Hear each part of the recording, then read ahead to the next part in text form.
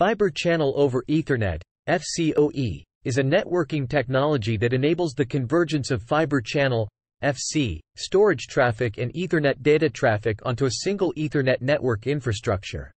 FCOE aims to combine the reliability and performance of traditional fiber channel with the flexibility and cost-effectiveness of Ethernet, simplifying network architecture and reducing the need for separate networks for storage and data communication.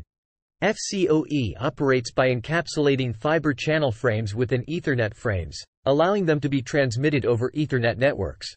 This allows organizations to leverage their existing Ethernet infrastructure while still benefiting from the features of fiber channel, such as low latency and lossless data transmission. Key features and benefits of FCOE include 1. Convergence. FCOE reduces the complexity of network infrastructure by consolidating storage and data traffic onto a single network, streamlining management and reducing costs. 2. Cost savings. FCOE eliminates the need for dedicated fiber channel switches and cabling, leading to cost savings in terms of hardware, maintenance, and power consumption. 3. Simplified management. By using a common Ethernet infrastructure for both storage and data traffic, network administrators can manage and monitor the entire network more easily. 4. Compatibility.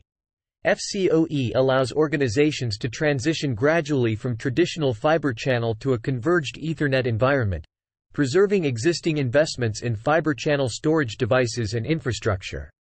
5. Performance. FCOE maintains the performance characteristics of fiber channel, making it suitable for high-performance storage applications. 6. Data center efficiency. FCOE contributes to data center consolidation and better resource utilization, as well as reduced cabling complexity.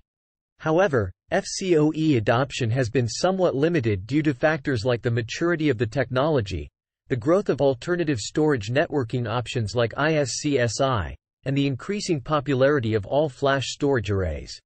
As a result, while FCOE remains relevant in specific use cases, organizations should carefully consider their storage and networking requirements when evaluating FCOE as part of their infrastructure strategy.